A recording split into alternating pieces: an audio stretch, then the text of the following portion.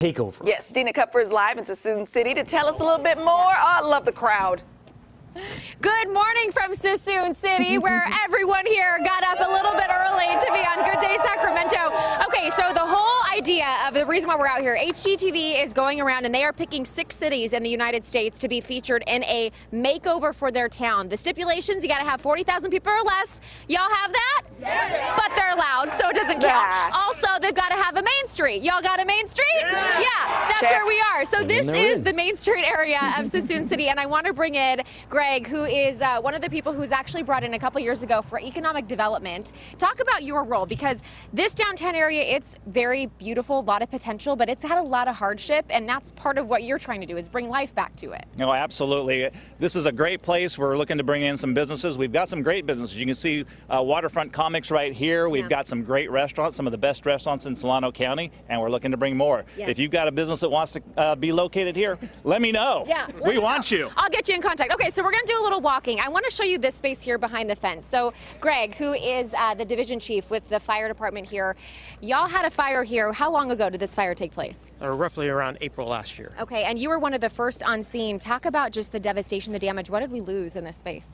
Well, it was a vacant building and it was a historical building. And the main pro- problem we had was it was brick and old. So the potential of it falling and injuring a firefighter was huge.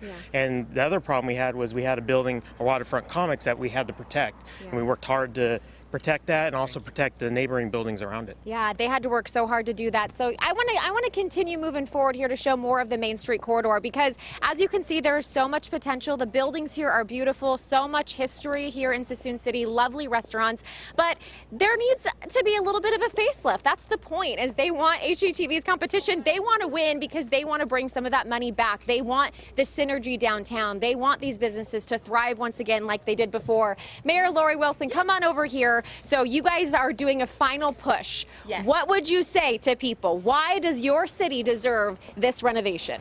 You know what? Because we're good people, it's a good town, so diverse, and we have lots of potential. And it really is about buildings like this. That this building is very historic. It's vacant. It needs just a little bit of TLC to be beautiful and to reach its full potential and allow a business to come in and really make it shine. Yeah. And you know what? I think that there's already so much shining that's happening with the people behind Yes. us, including the shiny sign. um, so, to the people of Suisun City, are y'all ready to try to get on the map once again?